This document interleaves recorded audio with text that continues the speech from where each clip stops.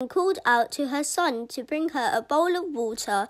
The young boy hurried to her call, but when he returned to the bedside with the water, he discovered that she had fallen asleep again. Sharafuddin wasn't sure what to do. Should he wake her up? Or wait until she woke up, or leave the water by her bedside, or go and go back to sleep himself.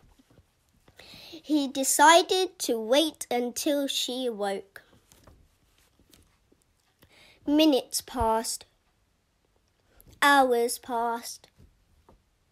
The night passed, and still the small boy waited patiently with the water at his mother's bedside. Finally, his mother awoke a little after the first light of dawn had placed the sky, and her mother and his mother Surprised, there was her beloved son at her side. How long have you been standing there? she asked.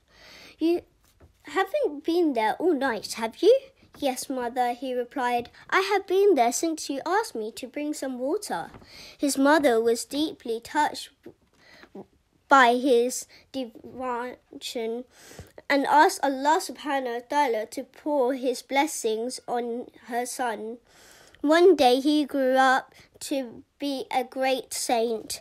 The moral of the story is that we should listen to our mother. We learn about the dua of our mothers and how if she asks Allah with love, her dua will get accepted. We have a great opportunity now to gain dua from our parents as we are all at home now. Jazakallah for listening.